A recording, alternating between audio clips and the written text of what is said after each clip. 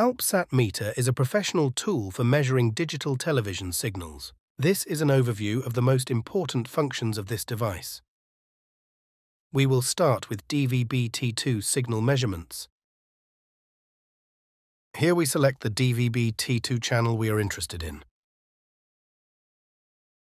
Meter displays the most important signal parameters, RF signal level, MER, link margin, ABR, and BBR. The device allows you to preview TV channels in the DVB-T2 HEVC standard. Meter generates a constellation chart, a graphical representation of the digitally modulated signal, which helps to assess quote-unquote signal quality. Signal quality is related to the modulation error rate, MER, which informs about the amount and type of noise disturbing the signal. Modulation error rate should not be treated as a measure of quality, but as the margin we have left to complete signal loss. Another useful feature of this meter is the Spectrum Distribution Analyzer for terrestrial television signals. Spectrum Distribution Analyzer, especially for terrestrial television, allows for quick identification of DVB-T2 signals in the VHF and UHF bands. Tilt limit function allows simultaneous measurement of up to 12 multiplexes of digital terrestrial television in the form of a bar graph.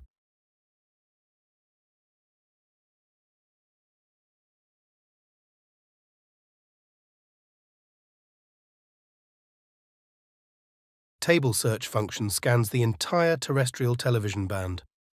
Modifying the search parameters shortens the process.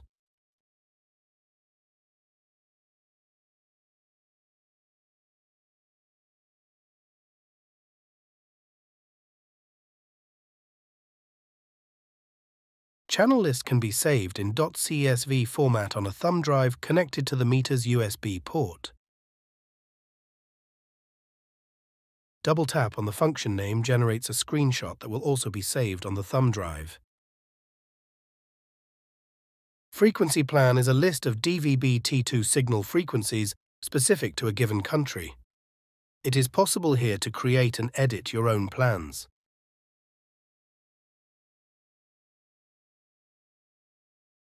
Settings menu enables adjustments for the digital terrestrial television signal parameters. Here you can also set the power supply voltage for the preamp, 5, 12 and 20 volts DC. After measuring the digital terrestrial TV signal, it's time to check for mobile telephony and mobile internet signal interference. The meter analyzes the spectrum for frequencies in the 4G, 5G, GSM, DCS and UMTS bands. Detailed spectrum analysis will allow identifying potential sources of disruptions in digital TV reception.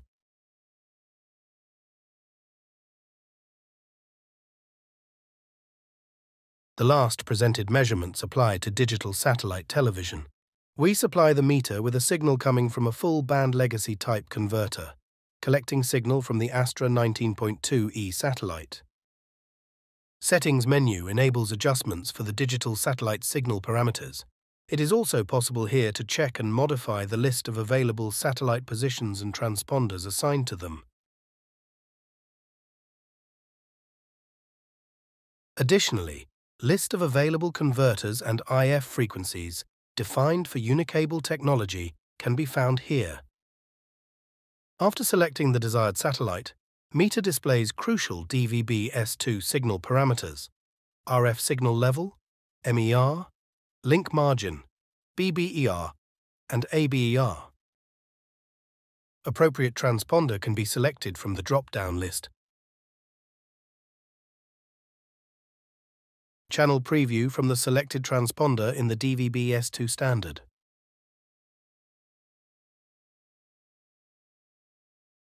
In this menu, we can also choose the converter type and a control signal, for example, DiSEqC, that enables signal switching between satellites. Meter generates a constellation chart and displays the signal spectrum. In this case, the constellation points are blurred, they do not create a clear symbol. This translates into low modulation error rate and, consequently, frequent signal dropouts.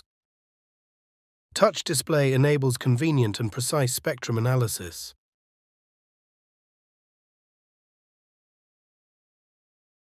Dual TP function allows for simultaneous signal measurement from two satellite positions. In this case, the satellite signal is unavailable from position A. This installation uses only one satellite. Multi-level function in single mode allows simultaneous measurement for each polarization band pairs from one satellite position.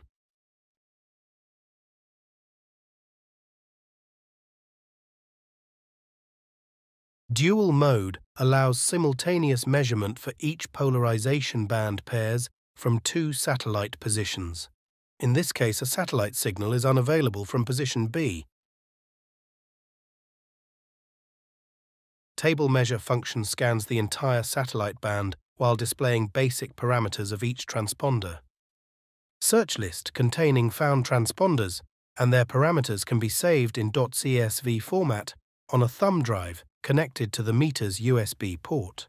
Double tap on the function name generates a screenshot that will also be saved on the thumb drive. Cross-polarity function allows you to measure the signal according to its polarization. Autoport scan identifies the satellite to which the antenna dish is set. Meter's software can be updated by connecting it to the internet by the built-in RJ45 socket it will check for the available updates.